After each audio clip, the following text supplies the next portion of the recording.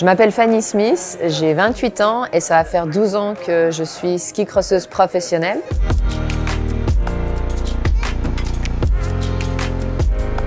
J'ai, je crois, 29 médailles d'or de Coupe du Monde.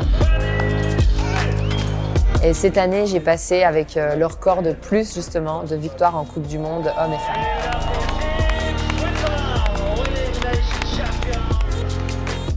Sie ist sicher eine sehr ähm, zielstrebige, ehrgeizige Athletin. Sie weiß genau, was sie will. Wenn sie mal hin ist, dann kämpft sie sich immer noch irgendwie führen und äh, sie will einfach unbedingt gewinnen und da merkt man einfach bei ihr wirklich extrem.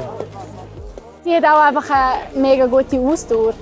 Also über die ganze Saison immer in jedem Rennen im grossen Finale zu sein, das ähm, verlangt schon viel von einem Athlet und dem kann sie einfach entgegenwirken und ja, das durchziehen. Sie setzt die Ziele, die sie sich steckt, im äh, Sommer jeweils zu 100 um und sucht auch immer wieder neue Wege, um diese Ziele zu erreichen. Und das ist, glaube ich, ein Punkt, sie sehr stark macht. C'est vrai que je suis quelqu'un de très exigeante avec moi-même. J'ai eu un bon été, une bonne été, un bon été de préparation. Je me sentais bien, tout autant euh, physiquement que mentalement. Et ensuite, comme à chaque fois, j'ai essayé de donner le meilleur de moi-même à chaque course. Et petit à petit, ben, les courses sont, passées et, ça s'est plutôt bien dessiné. Donc voilà, je suis vraiment très satisfaite euh, de cette saison incroyable qui s'est terminée.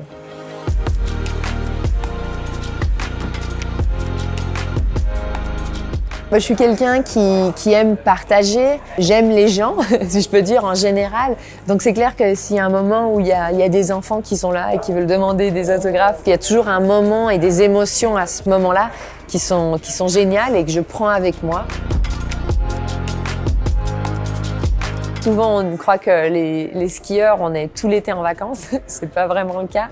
Euh, pour ma part, j'ai vraiment un mois que je prends pour moi euh, qui est justement le mois de mai.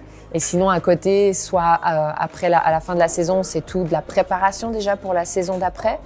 Et ensuite, euh, on recommence directement, donc pour moi, début juin, avec toute la préparation physique et, fin juillet sur la neige. Et voilà, il y a les Jeux Olympiques qui arrivent l'année prochaine. C'est clair que mon objectif est une médaille.